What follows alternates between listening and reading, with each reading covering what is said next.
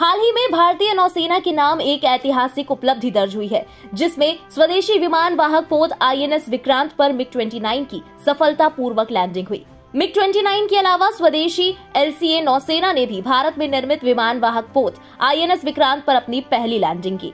इसने स्वदेशी विमान वाहक को डिज़ाइन, विकसित, निर्माण और संचालित करने की भारत की क्षमता का प्रदर्शन किया। वहीं पीएम नरेंद्र मोदी ने भी विमान वाहक पोत आईएनएस विक्रांत पर स्वदेशी एलसीए नौसेना और मिग 29 के जेट विमानों की ऐतिहासिक लैंडिंग की सराहना करते हुए कहा कि आत्मनिर्भरता की दिशा में प्रयास पूरे ज़ोर शोर से जारी है।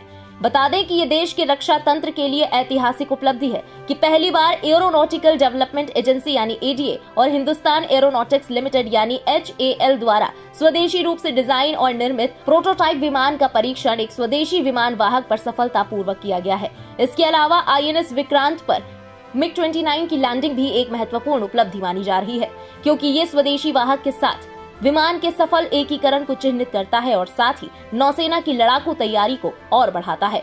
गौरतलब है कि एक विमान वाहक युद्धपोत का उत्पादन करने में भारत की आत्मनिर्भरता का ये प्रदर्शन देश की रक्षा, स्वदेशीकरण कार्यक्रमों और मेक इन इंडिया अभियान को और मज़बूत करेगा।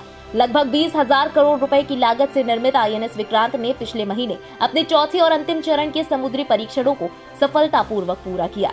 इस जहाज़ में 2300 से भी ज़्यादा डिब्बे हैं, जिन्हें लगभग 1700 लोगों के चालक दल के लिए डिज़ाइन किया गया है, जिसमें महिला अधिकारियों को समायोजित करने के लिए एक विशेष केबिन भी शामिल है।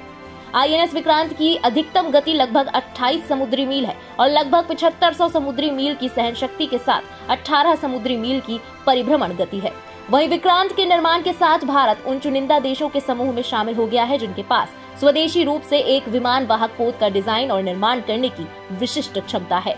फ़िलहाल इस खबर के बारे में आपका क्या कहना है? कमेंट सेक्शन में लिखकर ज़रूर बताएँ। देश और दुनिया की बाकी खबरों के लिए सब्सक्राइब करें। इंडिया पब्लिक खबर के यूट्यूब चैनल को और बेल आइकन दबाना बिल्कुल ना भूलें।